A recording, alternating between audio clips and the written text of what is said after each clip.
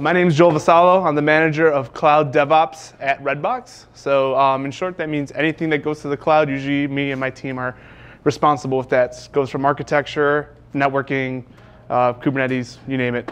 So we're there. And I'm uh, Nick Konieczko. I'm the manager of the mobile apps. Cool. So uh, our talk is called Delivering Software Like a Fox.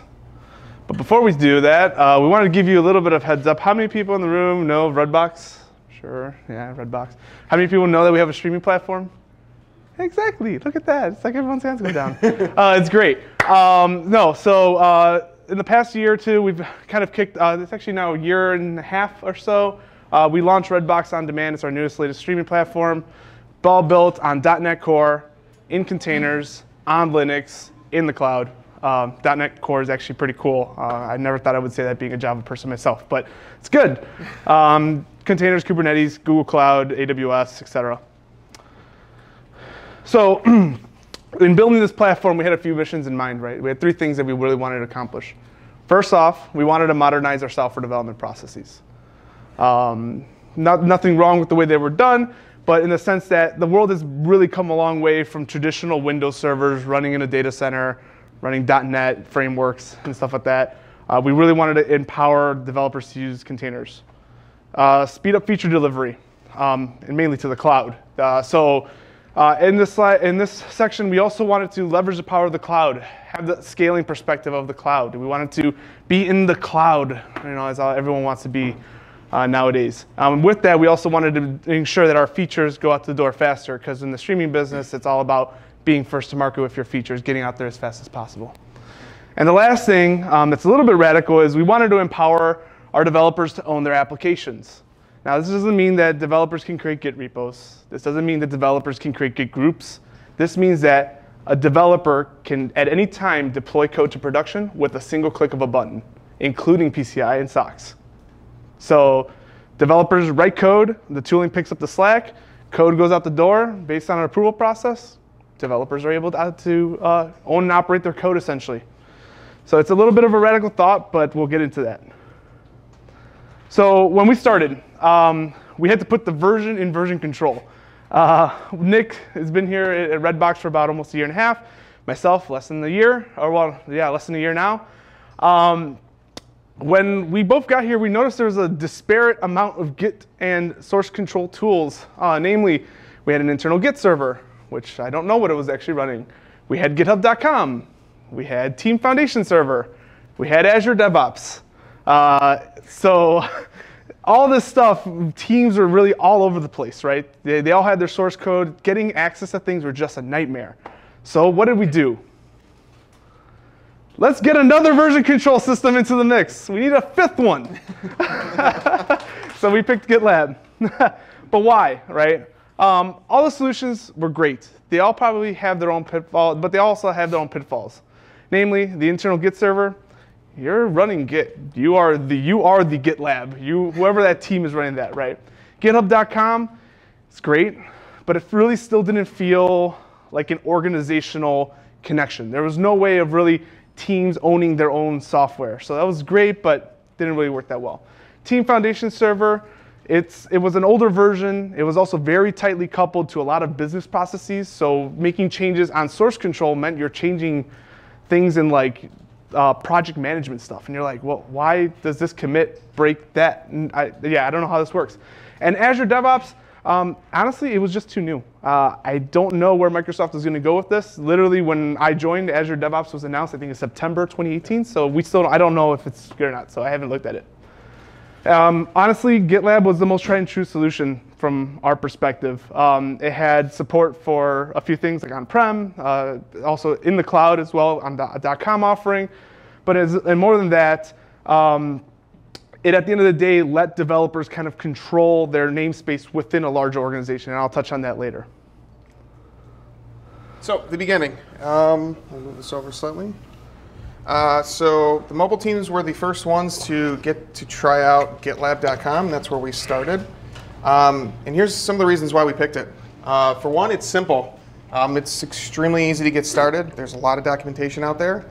Um, all the things I love. Um, it's very cost effective. We were able to get up free trial running, uh, get you know, get repos up, open, uh, test out different things, different features to see if it could work for our teams. A lot of what we were doing was trying to see if a new tool could work for us at Redbox. Um, one of the things we were looking for specifically, though, was workflow management, um, issue tracking. We were using all different issue tracking as well, besides just Git. Um, no one knew where any ticket was. Everyone had a different process. It was difficult to understand where anything was, and we wanted something really simple. Uh, but most importantly for me was the GitLab runners, which I'll talk about a little bit more later. So uh, our steps to migrating. Uh, coming from github.com, there's a very simple process. It's called import repository. Click that button. uh, it does everything. Here's a little bit better representation of what that is. We click the import button, GitLab does magic, and then we're there. Simple. So now getting on to the GitLab CI and runners. Um, so why this was so important to us. Um, we can see here it's free and easy to set up. I've used Jenkins before specifically for mobile development. Um, it works, it's a fantastic tool. But in the end, as an app developer, I'm mostly focused on building apps, not maintaining Jenkins and different things like that. Um, doing all the different updates and just like I said, it's, it's just easier for app developers to focus on building their apps. Um, specifically with iOS development, um, we had to build everything off of a Mac. So we have several Mac minis that we run off of. So we were able to hook up to GitLab.com and basically register our Mac minis as runners. We don't use the shared runners that are out there because we really can't do it for iOS specifically. So what this enables us to have is basically we have GitLab runners for free, aside from the cost for the Mac minis. Uh, so we maintain those, and basically it's just really easy to use. Um, there's a very developer-friendly YAML in our source control, which is basically how we build our pipelines and our step-by-step process. And our whole build process is in the code. It's in version control. Everyone can access it. Everyone can see it. It's easy to read. Um, and this really is kind of the definition of how our team works, which is also something that's really important. Uh, not just documenting it in Confluence or something like that. We can actually go to a direct source and say, this is exactly how our team will work, and this is what we're doing.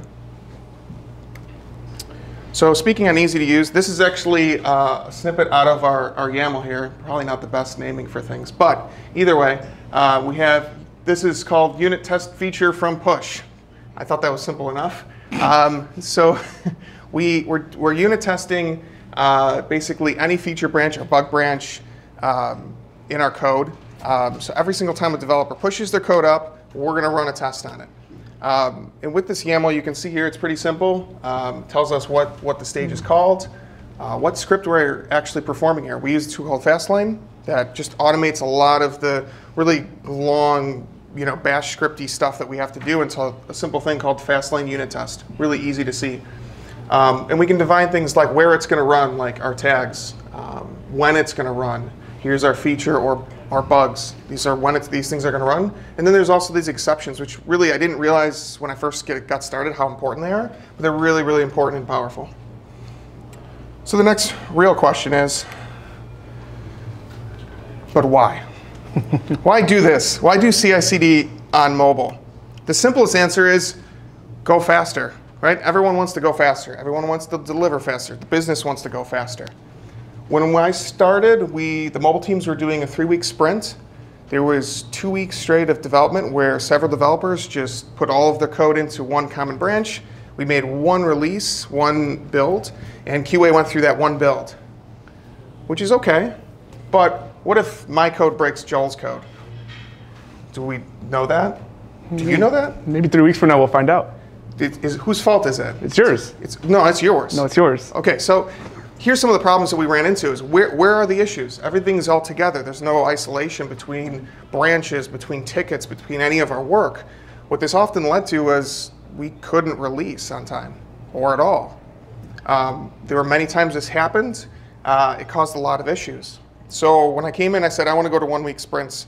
Everyone thought I was crazy. I think they still do. um, but, yes, thank you, Joe. Um, but a lot of the concern came around what, what is the QA process? Because there were, everyone was very used to this one week long uh, time of just doing QA. How are we going to do one week of QA and development? How are we going to do this? It seems like you don't care about QA. And it's actually the opposite. Um, the whole goal of this is to basically ingrain quality into every step that we do. In the YAML that I showed before, we, every time we push on a feature or bug branch, we're running our tests, unit and UI tests. You only saw the unit uh, portion of that. Uh, before we ever merge in any code, we're running tests. After we merge in code, we test it again. We do, we do nightly regressions. All, so we're constantly testing our code. And what does this allow us to do? This gives us a higher level of confidence in the code that we deploy. So I can sleep at night. I mean, it's simple. We, we all want to write code in a safe way. Um, so that way we, we feel confident that when it goes out to a customer, it's going to work. And what that allows us to actually do is it allows us to go much faster. So what if it doesn't work? What if I push that code, I do, do all the right things, I test everything, and I still break something? Because I know I've done this quite a few times.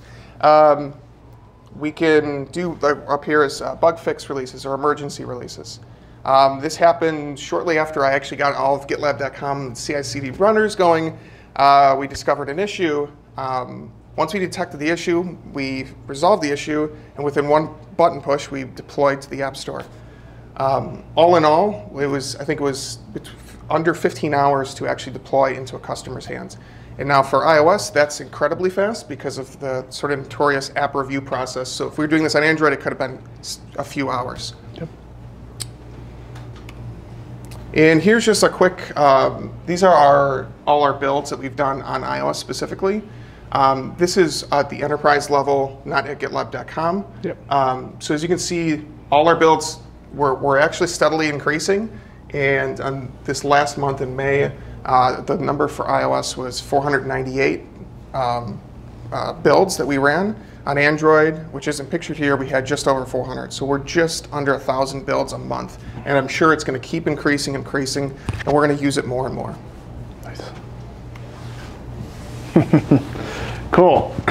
So, uh, GitLab.com, it was great. Uh, but from my perspective, I was uh, when I started, I had to think larger. So Nick did a great job pioneering it for the mobile team.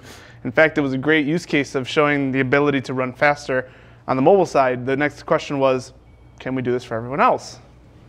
The answer is yes, we can. so why GitLab Enterprise? Uh, you know, they have GitHub Enterprise, you have Bitbucket. Who else is in? I don't know. Everyone else is in this space. Really, uh, easy, uh, there's the ease of migration back and forth between GitLab.com and also GitLab Enterprise, which I'll touch on. Security and source control. Um, you know, I, I trust all the folks at GitLab, at GitHub, any one of these companies to do it. But at the end of the day, um, knowing that I have my source control encrypted, locked down behind whatever firewall I may own and need to do, um, and ultimately have due diligence over how that code is shared, it lets us and our compliance teams sleep better at night. Um, in addition to this, um, SAML, we had our own corporate login system, so we uh, it, it integrated a little bit nicer. Um, and ultimately, we were able to control our infrastructure, right? We paid for what we needed at the time. Uh, if you need more servers, you had more servers. You need less, you need less. Um, as well as uh, fine-grained controls. Uh, the thing that it afforded us were repository insights and metrics, as you saw in a previous slide by Nick. Um, empowering developer ownership. Um, I may be on the DevOps team, but I am not a Git admin. I give Nick admin over his team, and Nick can work with his team to figure out if he needs one or a thousand repos. That's ultimately, I trust him as a developer and lead to do that with his team. Um, and then ultimately, uh, customized infrastructure support within, uh, it, we'll touch on that in a bit too. So when I say ease of migration, um, code initially was on gitlab.com in private repos, as Nick was showing. So uh, the migration steps were a little complicated, but first off, you connect your gitlab.com account to your GitLab Enterprise. You click this import all button, and you just monitor it, and it's done. So I know it was a little bit of a confusion there, but it's uh, three steps. Uh, you basically connect your account, click a button, magic happens. Um, this brings in all the issues, it brings all your history, it brings your branches, it brings any of your uh, issue tracker, anything that you may have done on the gitlab.com. Again, ease of migration. That's part of the reason we went with GitLab is that they, they really didn't care where we ran. Run it on GitLab.com. If you want to be in, uh, self, in a provided environment, if you need to run it on-prem, no problem. Run it there. You need to go back, you just import it back. It's very easy to go back and forth. Security and infrastructure control, as I alluded to. Um, we um, initially had a strong support for SAML, and I think it wasn't until the last two releases that SAML got a lot better on GitLab.com. So this story may not be as accurate right now. Um, but when we started, we had our own IDP. Um, for those that are not infra folks in that, it's we had our own SAML provider, and we had to kind of connect back into our data center for that. Um, so we needed a little bit more fine-grained control on that. Um, granular access, giving developers access to control their repositories, add deploy keys, add hooks, whatever they need. Um, logs and metrics collection. Um, you know, when were commits coming in? When were they going out? We needed access to the API. Um, and uh, ultimately, we wanted to encrypt all our software, um, you know, with encryption keys and stuff that. Stuff like that. Um, developer ownership. Uh, I alluded to this earlier, but a lot of uh, software as a service solutions, um, they have this concept of one uh, organization is your top level organization. By that I mean, um, if you go to like, uh, like for example, one of these other Git providers, they'll say it'll be like a Google or a Redbox, and then every repo is under there. This is great, but then you kind of lose this visibility into teams. You have, uh, for example, Redbox, Redbox mobile iOS, Redbox mobile Android. Not bad you add in two other verticals into that. Redbox DevOps something, Redbox DevOps this. You're scrolling through this giant list of just repos, and there's no real way of classifying this. Sure, there's back-end ways of saying this team sees these repos, but in terms of actually just getting a nice experience for that team, it's hard to find that. So that's one of the biggest things that I personally liked. Um, development teams lost control of this. Uh, a lot of the other tools out there require that there is a Git admin. I don't want to be a Git admin. Developers know how to use Git. It's part of their day-to-day workflow. Um, and then centralized provisioning. Uh, kind of go into this. Someone had to be a Git admin. And then ultimately, something that's actually pretty cool about GitLab is the concept of um, templates, template repositories. You can create a number of base template repositories. For example, um, .NET Core, Java, and uh, iOS and then when the developer's creating the repository in the GUI, they can actually reference that sample repository that you created as their base. So for example, this is, we use this on the DevOps team because we have things like um, default uh, permissions Jenkins files, uh, GitLab CI default files, um, any readmes that we may need. Uh, developer can just clone that and have a default readme and then just edit to their specification and boom, they're set up into the standard of the company which is actually pretty cool. So yeah, part of developer ownership. Um, now this is kind of where I split off. You're saying, whoa, wait a second, why is Jenkins up there? This is a GitLab event. Shouldn't that be GitLab CI? No. Um, this is honestly one of the best things about GitLab is they just want us to be successful, right? Batteries are included. There's a lot of great tools in there, such as GitLab CI, the Git, GitLab issue board, which Nick used on the GitLab.com. GitLab's artifact repository, it's built into the platform. GitLab's pipelines with the CI/CD process. All of this comes in, but if you don't want to use it, it'll adapt to your business model. For example, my team uses Jenkins. We can still use GitLab. There's no blocking event where it says, ooh, you're using Jenkins, you can't talk to us. The error, you know, blocked. No, we use Jira. We tie Jira tickets into GitLab all the time. We have JFrog Artifactory. We also use Spinnaker for our software delivery again, it's transform, it transforms to what you need as a business. And that's the thing that I really appreciate being on the DevOps side. So getting to delivering fast. Um, this is kind of more so on the aspect of the server side. Uh, mobile is a little bit different because you have the App Store review process. This is kind of more of how we deliver into our cloud environments. So really, it starts with a git commit, which goes into GitLab. GitLab CI on merge requests creates a uh, container out of that, and developers can pull that, test that out locally, whatever they may need to do. Uh, master commits go to Jenkins, which also may do things, uh, build code, and push it to the Docker registry, which happens to be in JFrog Artifactory, which a new container is created, and our tool, um, Spinnaker, uh, deploys it out to um, Kubernetes, Google Cloud, AWS. Um, but yeah.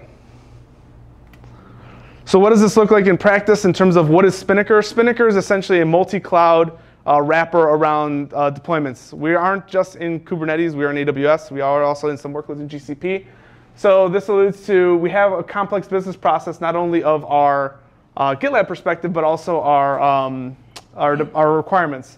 So we bake a new image, infrastructure step. This is where developers, uh, load balancers, firewalls, DNS records, all this stuff gets auto provisioned for them. Developers don't have to be infrastructure administrators. We tag back whenever we're done deploying uh, into dev, back to developers, deploy to dev, run quality tests, tag, and attach a scaling policy so you can increase and decrease your server loads. Not too much on that. Um, when it goes to Kubernetes, we still have ties into GitLab. Um, in fact, there's actually native ties between Spinnaker and GitLab, which is great because of the open API. We're actually able to write Python scripts, uh, .NET Core scripts to actually tie into GitLab's API and use it in our CI/CD process. Again, two separate tools, but we're still tying them together, which is awesome from my perspective as a DevOps administrator, uh, DevOps manager. Uh, we have our canary. We deploy our canary. A, uh, a canary config gets applied. We do our automated canary analysis. If that goes well, we deploy to prod. That goes out the door and runs quality tests and generates change requests. Um, we tie this all back together with our Istio service mesh. And it basically looks like something like this. That config step basically looks like, hey, if the headers match Joel, that's me, uh, go to the version 2. Otherwise, go to version 1. Um, that's kind of Istio and a kind of a whirlwind tour uh, from a routing perspective. But when we do our canaries, we're able to actually do complex canaries such as take our default production um, endpoint, create a copy of that, create another copy of our latest canary, and then do analysis on that. You're probably wondering, well, why did you deploy the same service twice? Um, talking to a few friends from Netflix, it's actually a pretty cool concept. Um, that server may have been running for two weeks. The metrics that that server generates may be completely different than a brand new server and its memory profile. So by spinning up a fresh server of a copy of the one that's existing along with your latest canary, you're able to do complex query and uh, canary analysis across and generate ultimately a score. And it looks something like this. Again, things like, hey, it passed the CPU profile.